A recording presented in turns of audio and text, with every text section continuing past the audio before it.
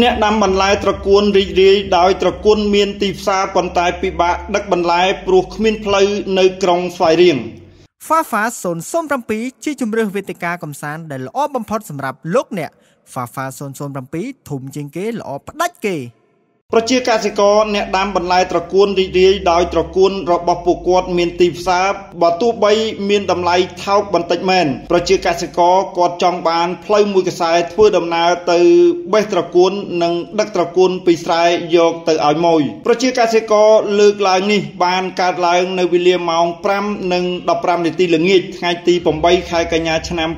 2024នៅភូមិគយត្របែកសង្កាត់គយត្របែកក្រុងស្វាយរៀងបើតាមស្ត្រីម្នាក់ឈ្មោះកើតស៊ីណាអាយុ45ឆ្នាំ នៅភូមិគយត្របែកបានប្រាប់អ្នកសារព័ត៌មានយើងឲ្យដឹងថាគាត់បានដាំត្រកួនទឹកលើផ្ទៃដី 25A គឺអាចបេះវិលជុំបេះរាល់ថ្ងៃ ក្នុងមួយថ្ងៃអាចបេះបាន50ទៅ100ដុំហើយក្នុងមួយដុំលោកបាន400រៀលគឺមានឈ្មួញកណ្ដាលមកប្រមូលទិញរាល់ព្រឹក ចំណែកស្ត្រីឈ្មោះភេសារ៉ាត់អាយុ64ឆ្នាំ នៅភូមិគយត្របែកបានឲ្យដឹងដែរថាគាត់ដាំត្រកួនលើផ្ទៃដី 20A គឺបេះលក់រាល់ថ្ងៃដែរក្នុងមួយថ្ងៃលក់បាន80ដុំបេះ2នាក់ប្តីប្រពន្ធគឺត្រូវក្រោកឡើងម៉ោង2:00នាទីរៀបភ្លឺដោយមួយមកប្រមូលបន្លែនៅវេលាម៉ោង4:00នាទីព្រឹកទីភ្លឺមួយដឹកទៅលក់បន្តនៅរាជធានីភ្នំពេញចំណែកស្ត្រីម្នាក់ទៀតឈ្មោះកែវសុផាអាយុ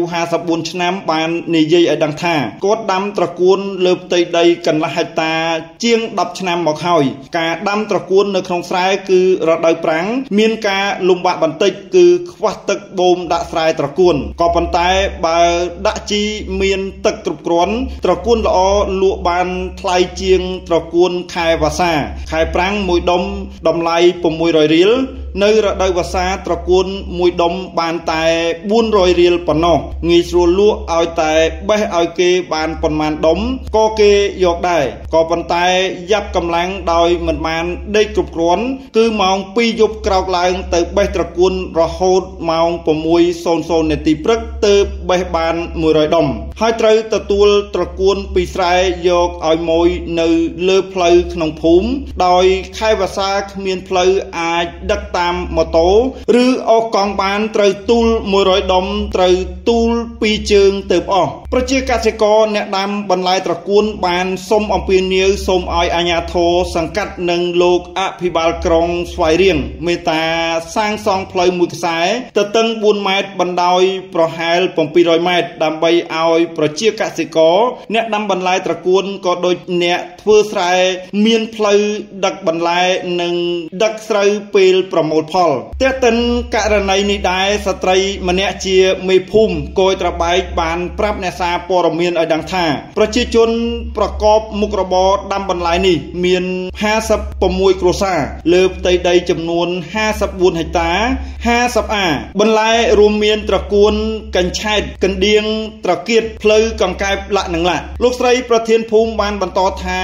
បន្លែធម្មជាតិមានទីផ្សារល្អទោះបីមានតម្លៃថោកបន្តិចក៏ប៉ុន្តែបើគិតជាប្រាក់លក់បានគ្រួសារមានគ្នា2នាក់ដាំដីកន្លះហិកតាឡើងទៅអាចរកចំណូលបានក្នុងមួយថ្ងៃ50000រៀលទៅ70000រៀលអ្នកដាំម្នាក់ឯងអាចរកចំណូលបានចាប់ពី20000រៀលទៅ40000រៀលក្នុងនោះដែរក៏មានគ្រួសារខ្លះគ្មានម៉ូយត្រូវបេះយកទៅលក់ខ្លួនឯងនៅតាមផ្សារក្នុងក្រុងស្វាយរៀងក៏អាចរកប្រាក់ចំណូលក្នុងមួយថ្ងៃ20000រៀលទៅ40000រៀលដែរនៅផ្សារត្រកួនកញ្ឆែតកណ្ដៀងបោះដុំ